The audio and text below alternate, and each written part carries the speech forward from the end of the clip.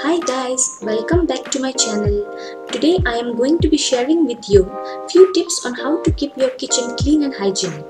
I believe hygiene is a big factor for a healthy lifestyle and our kitchen needs to be the most important and hygienic part of our home.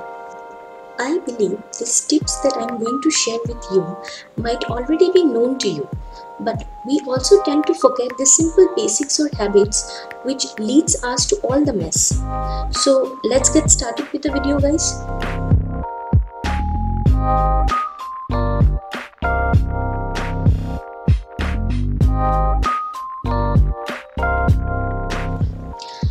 First tip for you is use of bay leaves inside food containers and kitchen cabinets for warding off cockroaches and bugs.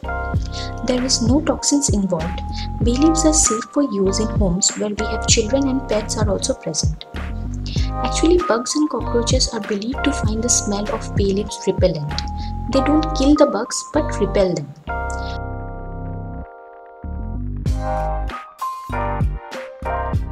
We just have to remember and replace the bay leaves every 2 or 3 weeks.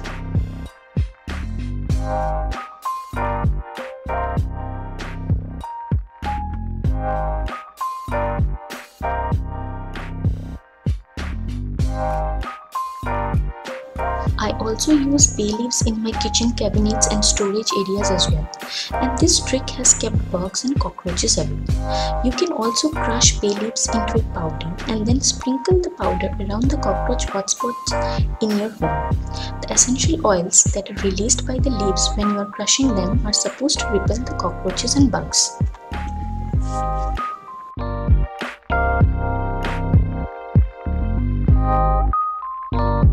My second tip is to wipe and clean the chimney from outside on a daily basis.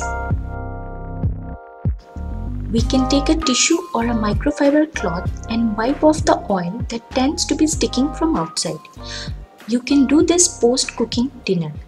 Keeping this habit will free us from messy deep cleaning of chimney when it becomes too greasy and too sticky.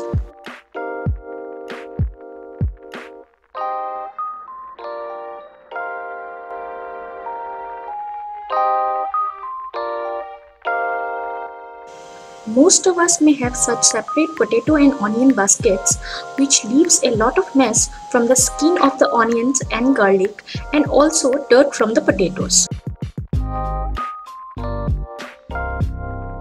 So here is my third tip.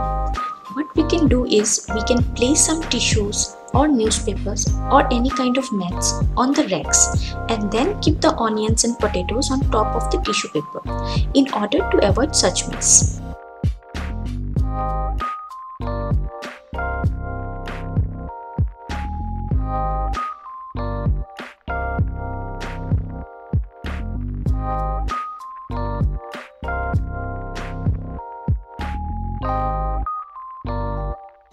Also, in case of mini potatoes and garlic, we can use this kind of baskets.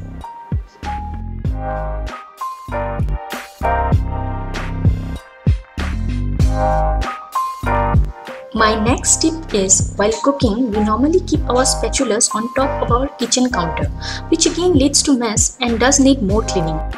What we can do is we can simply place the spatula on a plate or a spatula holder which will leave a clean and non-greasy countertop.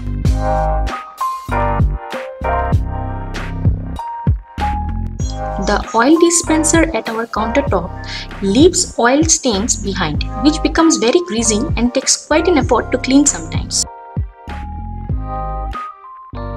So my tip is that we can take any tray or this kind of basket and then keep our oil dispensers on it.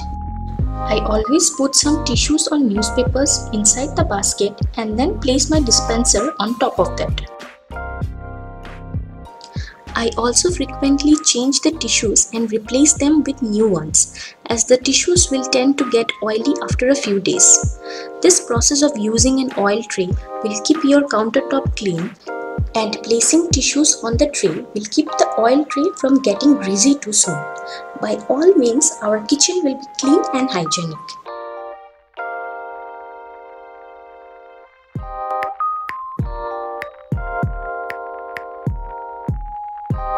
Most of us might clean our cooktop daily, but we do tend to forget to clean beneath the stove, which seems to be quite dirty sometimes.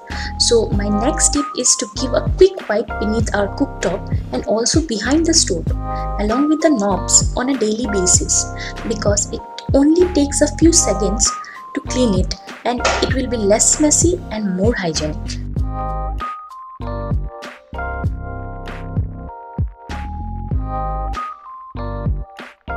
That's all for the video guys. If you like this video, make sure to give a thumbs up and if you want me to make more of such videos, do comment below. Also, if you are new to my channel, please do consider subscribing. Thanks for watching.